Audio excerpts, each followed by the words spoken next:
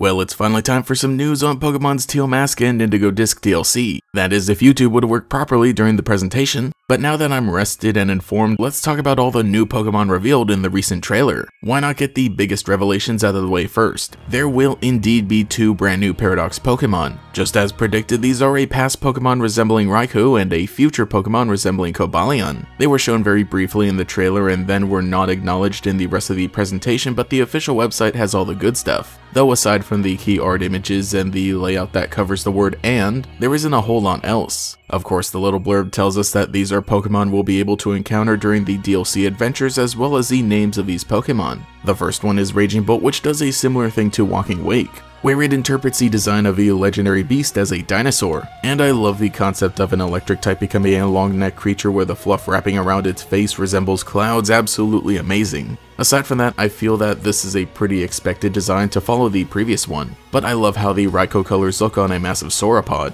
I would assume it would be electric dragon type similar to Walking Wake, though it could also be base electric with a different secondary type.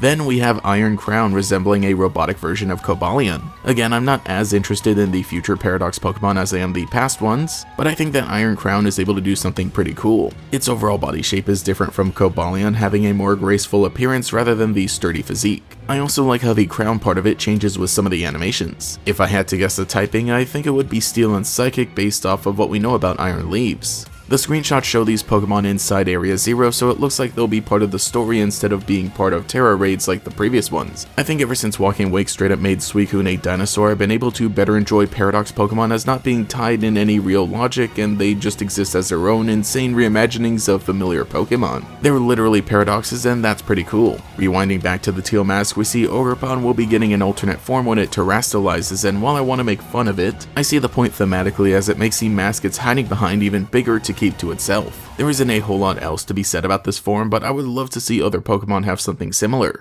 Though I won't have to wait too long because it turns out that Terapagos also gets a Terastal form as we finally have confirmation that the baby Terapagos is actually the normal form, while the big disc we become so used to is the aforementioned Terastal form. That's pretty interesting because then that makes this seemingly special Pokemon a lot smaller than we had originally thought, and even the screenshot makes the Terastal form look kinda small, but we'll wait and see what else it'll be capable of. And of course there are some non-paradox and non-legendary Pokemon that were shown off. Dipplin is not just an alternate form of Applin, but it's actually an evolution which I was pretty surprised about. It is about the same size as a Flapple, so that checks out. It's shaped like a candied apple, so that's neat, and I can't believe I didn't predict that with all the apples in Kitakami. The official website says that it appears as if the head that pops out and the tail sticking out behind it belong to two separate creatures, so it's like two Applin worms living inside of one apple together. Dipplin's signature move Syrup Bomb is a grass-type damage-dealing move that lowers the opponent's speed for 3 turns, while the ability Super Sweet Syrup lowers the evasiveness of opposing Pokemon once it enters battle. So basically the move Sweet Scent as an ability, that's kind of interesting. Then we have Archaludon, an evolution of Duraludon. It maintains the Steel and Dragon typing, and while standing big and tall, it can also lower itself into a drawbridge. That's, that's hilarious. Though it also kind of resembles a cannon, which fits with how it's now able to store and unleash electricity with its new move, Electroshot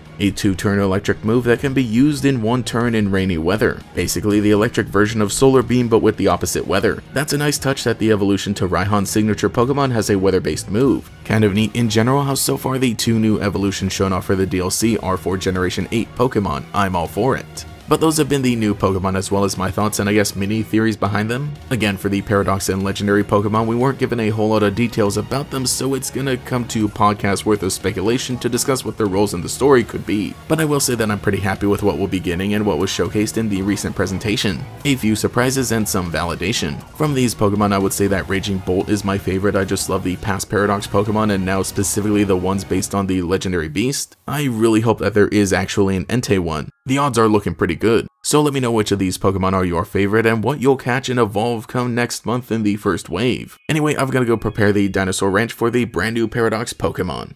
Thank you to every channel member for your continued support, especially the great Gators. Brandon Mork, Cheeseburger Lasers, Justin R, Cosmo Zero, Meme Supreme, Michaela, Mochizuki Yoru, Nomad Nobi, Quago, Taijirai, Volity, and Pastel Blood. If you would like to support, get your name shouted out here as well as access to emotes for comments, live streams, and sometimes early videos, you can become a channel member today. You can also follow me on Twitter as well for more memes. Anyway, this has been GatorEX, I'll catch you all later.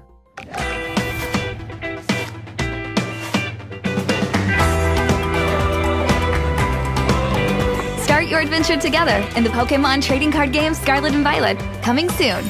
Products sold separately, cards vary by pack.